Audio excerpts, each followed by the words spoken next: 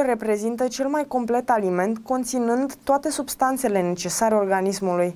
Este bogat în proteine cu înaltă valoare biologică, grăsimi, vitamine și minerale. Este cel mai versatil aliment, el folosindu-se în toate tipurile de mâncare, de la antreuri la deserturi în toate bucătăriile lumii. Conține absolut toți nutrienții necesari unei alimentații echilibrate, cu excepția vitaminei C.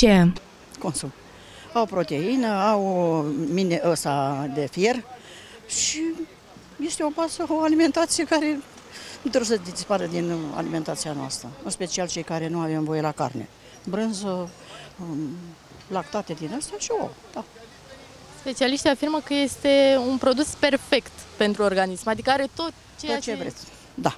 Știu, știu că am lucrat în sistemul așa și uh, știu că conține foarte multe și mai ales că țin un regim special, dar le consum. Oul este considerat de către nutriționiști un produs foarte valoros în alimentația omului datorită substanțelor nutritive pe care le conține, în special proteine, aminoacizi care se asimilează foarte ușor în organism. Vitaminele sunt prezente atât în albuș cât mai ales în gălbenuș. În albuș se găsesc vitaminele hidrosolubile, iar cele liposolubile numai în gălbenuși. Cel mai bine este să consumăm oul fiert moale deoarece acesta este digerat în întregime după 1-2 ore, în timp ce oul fiert tare sau omleta este digerată după 3 ore. Foarte rar, m-am scârbit de ele.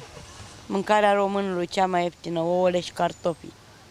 Să trăim bine.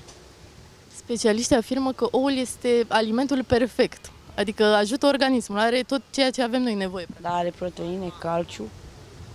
Asta nu înseamnă că nu poți să faci paradontoză. Un nivel ridicat de colesterol în sânge crește riscul de boli cardiovasculare.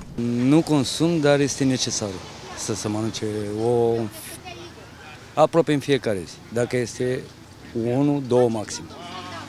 Da, așa afirmă și specialiștii, care fi alimentul perfect pentru organismul nostru, adică conține tot ceea ce avem noi nevoie.